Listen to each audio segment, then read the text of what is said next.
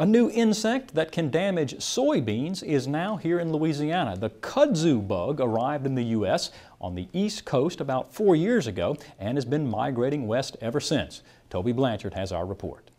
An LSU Ag Center entomologist has confirmed the arrival of the kudzu bug in Louisiana. C. Brown said the insect, which can feed on soybean plants, has been found in Madison and Tensas parishes in northeast Louisiana.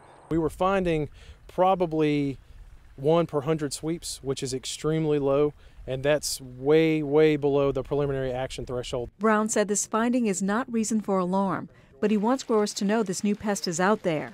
The insect is native to China and India, but has been in the U.S. since 2009. It can be found on kudzu, wisteria, and legumes such as soybeans. He said it feeds on the stems and foliage of plants. They'll stress the plant by extracting plant fluids, and plants under, especially soybeans, under drought stress are hit the hardest, and they can cause yield losses of uh, 18 to 20 percent. Soybean farmers already use pesticides to control stink bugs in their fields. Brown said these chemicals will also manage kudzu bugs. When producers start uh, making applications for stink bugs at about R2 to R3. We may not find any more kudzu bugs because a lot of the products we use will control kudzu bugs as well as stink bugs and other insects in the field. The pest is a relative of the stink bug. It even excretes a foul smelling chemical like stink bugs.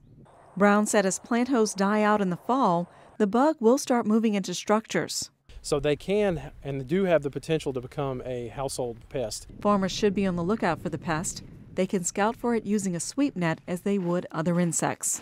For This Week in Louisiana Agriculture, this is Tobie Blanchard with the LSU Ag Center.